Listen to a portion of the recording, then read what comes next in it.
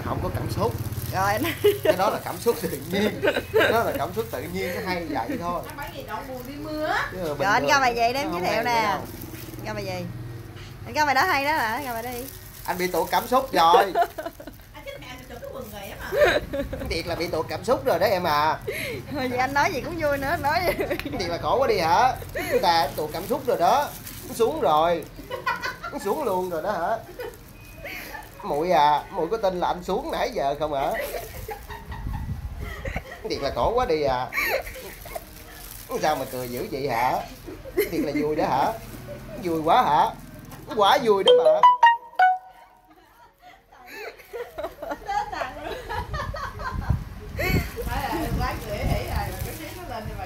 Tôi mà đem cái niềm vui tới được cho ai là tôi cũng vui đó. Không phải không đó bà chị à Nó nói Thì ra anh nói buồn rồi á, buồn buồn phải bụng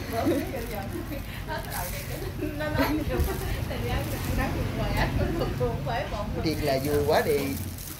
Ngày nào cũng vậy ngày nào cũng vui. Chắc tôi chết, không có chết được, tôi sống luôn đó hả?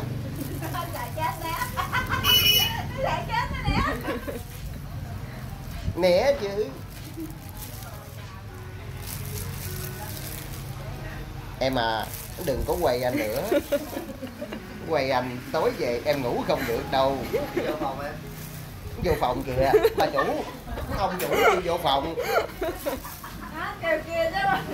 ông chủ à mệt không hả sáng đêm rồi đó thiệt là giờ này còn muốn vô phòng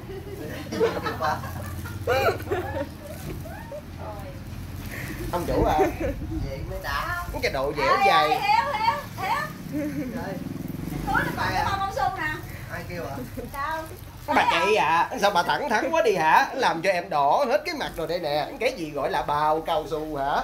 Mỹ hà. Tôi nói là họ sói? Trong buồn tao nó con chuột nó vừa buồn nó quậy nó cắn sờ lên